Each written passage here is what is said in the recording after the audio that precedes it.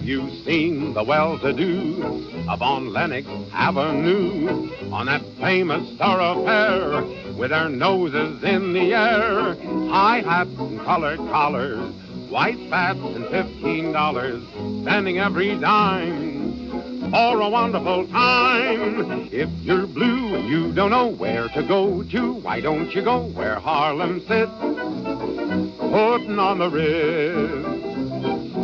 Spangled gowns upon a bevy of high browns from down the levee, all misfits, putting on the Ritz.